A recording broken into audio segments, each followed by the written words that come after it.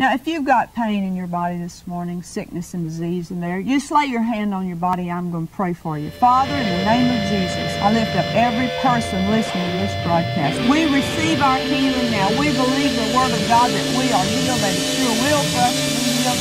And we receive our healing now in the name of Jesus.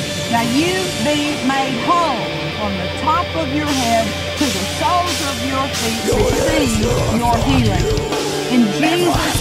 Lift up your hands and say, Lord, I receive my healing. I believe I receive my healing.